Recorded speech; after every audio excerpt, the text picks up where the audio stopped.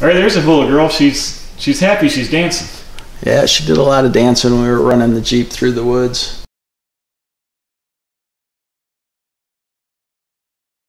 All right, today in the Quick Speed Shop, we're on the road. I'm at my buddy Tony's shop, and we're looking at Jeep stuff.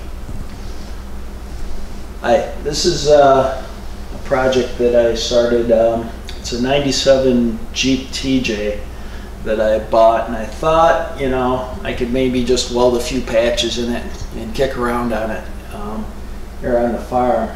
But um, the frame, the frame let go. The frame was really shot. None of the body supports were there, so I brought it in and tore it down. And I guess I'd call this project "Why Bother" because there really, there really weren't many good parts in this Jeep.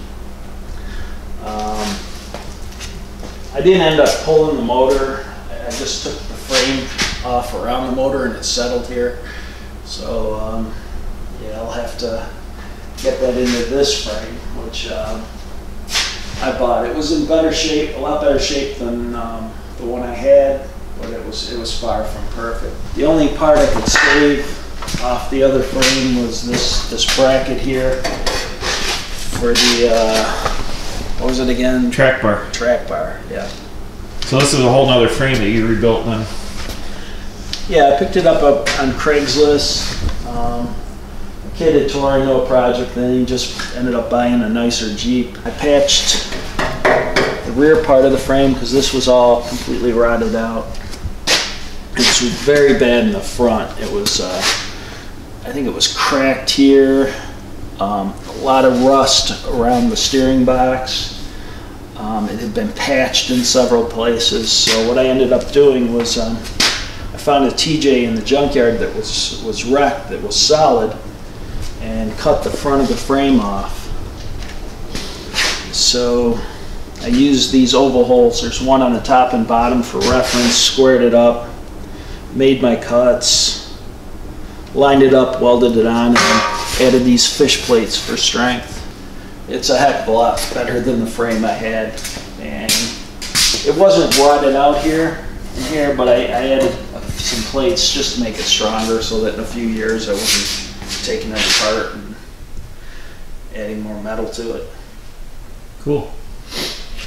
When I pulled the axles off the old frame, the old springs were mounted on on these spring perches and there's a rubber pad there and when I pried the spring off they were so rotted that they just they were completely gone and I thought I was going to have to search out some new axles.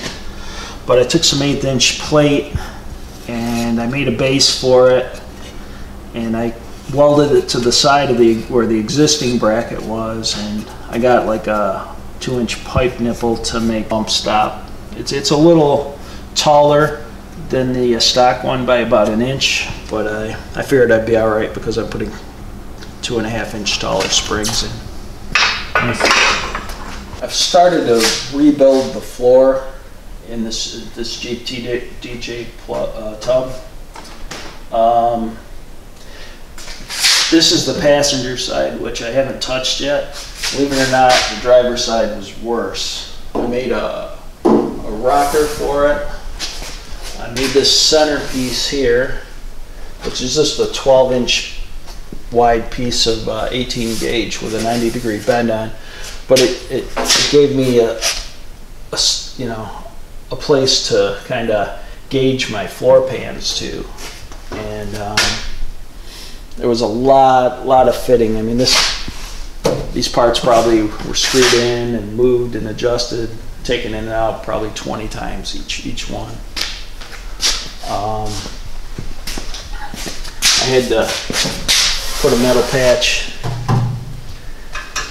in, in the bottom of this wheel well, in the back of this foot well. I used plug welds to put all this in. I did. I didn't do any um, full seam welds. I figured it was it was good enough. And I don't know if, it shows real well, but I've got this all ready to weld in. That torque box is screwed into place all my um, holes for the plug welds are drilled and I ground the burrs off and then I screwed the torque box back on took a marker marked where all the welds were And because I'd already put some etching primer on top of the inside of the torque box, I was able to just take a Dremel tool and clean off the metal right where I was going to weld. The rest of it has a primer on it. But um, I don't know if it shows. I had to make a lot of patches to get it ready to put these floors in. I have one here, one here, one in here. Um, Yeah. I had to rebuild the bottom of the pillar. This was rusted up to here. And of course, here's the the footwell patch I made. I like your uh, spreaders here you made for the, the keep the cab in shape. The bolt across the doors. Yeah, that's a good idea. What happened was we had it on the frame, and my son was over, and we went to lift it up off the frame, and it kind of caved in and buckled the rocker. That's why I decided to bring the rockers up as high as I did. I probably didn't need to.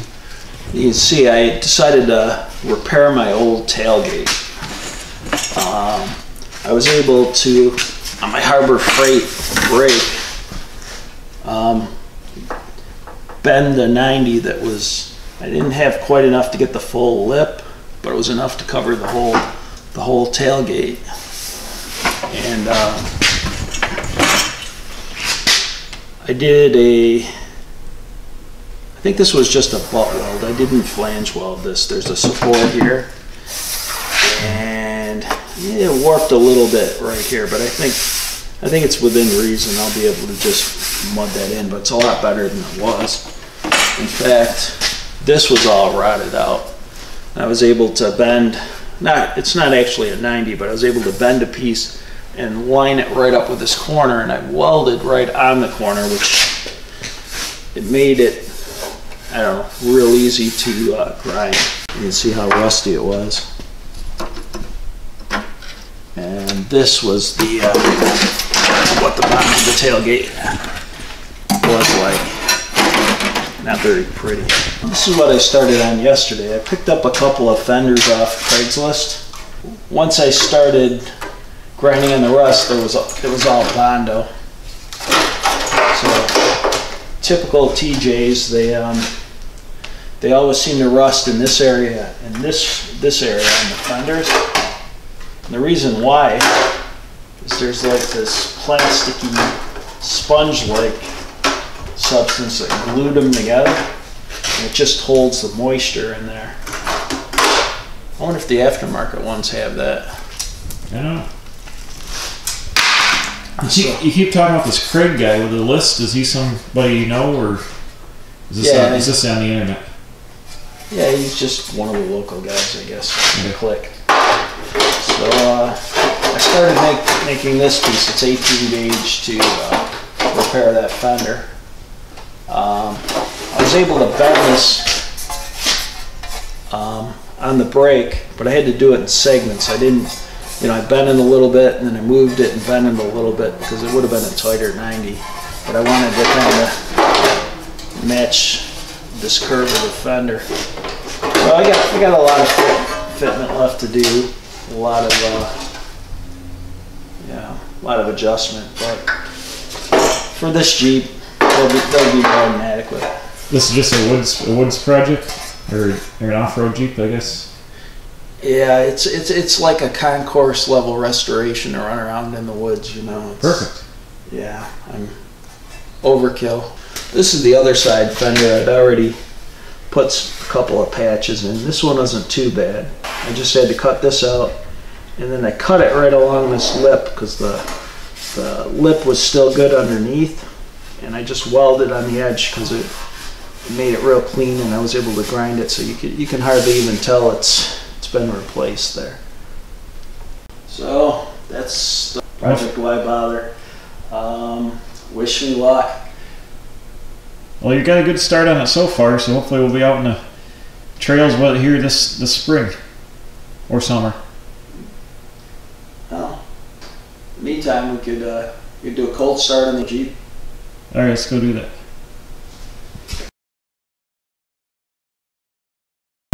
This is the yellow Jeep from the other videos of the red Willys. It's about what, five degrees out today? Yeah, after that, I can't remember the last it was this cold. Let's try to fire it up. No promises.